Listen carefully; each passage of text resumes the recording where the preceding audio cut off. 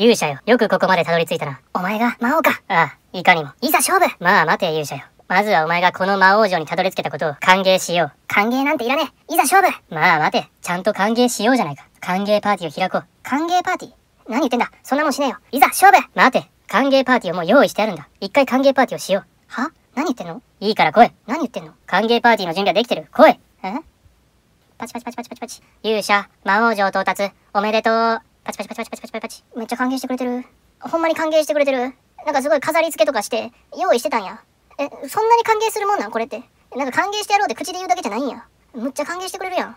さささ、はーい、ピザ焼けたわよみんなで食べなさいあとポテトと唐揚げも持ってくるし、ジュースもいっぱいあるからねサイダー、コーラ、オレンジ、どれがいい？あと景品付きのビンゴ大会もあるから、それをみんなで遊びましょうねめっちゃ歓迎してくれるやん。え、そんな歓迎してくれるん？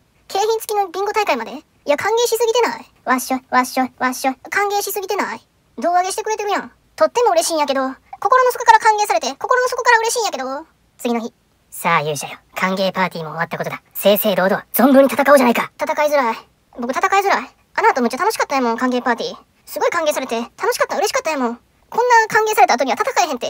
もう友達やもん。あ、魔王、ちょ、戦うのやっぱやめない？なんでだ？僕らもう友達やん。まあ確かに俺らは友達だけど。でも、俺が魔王でお前が勇者である以上、戦わなければならない。あ、いや、あ、じゃあ、あれしようや。あの、世界の半分やるからっていうやつやってや。僕世界の半分もらうから、友達なのや。そっちから言うパターンもあるんだ。じゃあそうしよう。世界を半分やるから、分け合わないか。うん、分け合おう。俺たち、友達だもんね。あ、そうだ。じゃあもう一回ビンゴ大会やってさ、どっちの半分をもらうかをビンゴで決めない？いいじゃん、いいじゃん。それしよう。わーい、わーい。大きなチャンネル登録者の下で、あなたと